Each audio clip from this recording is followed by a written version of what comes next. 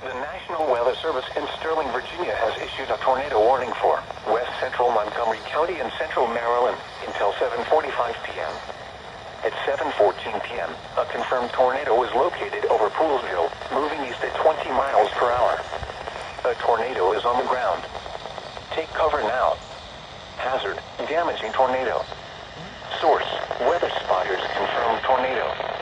Impact, you are in a life-threatening situation. Flying debris may be deadly to those caught without shelter. Mobile homes will be destroyed. Considerable damage to homes, businesses, and vehicles is likely and complete destruction is possible. Holy shit. The tornado will be near Germantown, Gaithersburg, Montgomery Village, North Potomac, and Boyd's around 7.20 p.m. Other locations impacted by this tornadic thunderstorm include Dawsonville and Darnestown.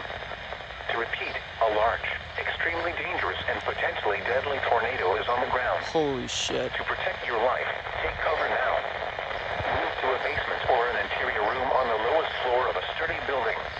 God. Avoid windows.